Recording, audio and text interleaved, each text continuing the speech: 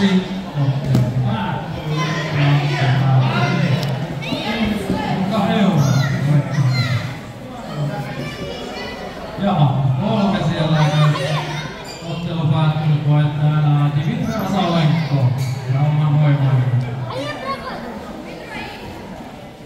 Ottelu numero 66 menee matkalle kaksi.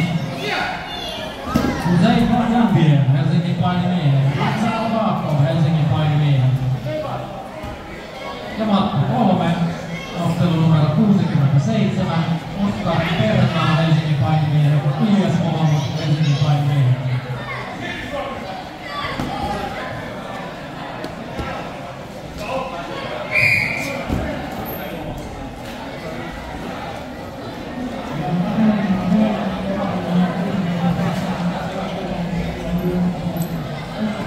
Matto yksi, ylivoimainen pistevoitto.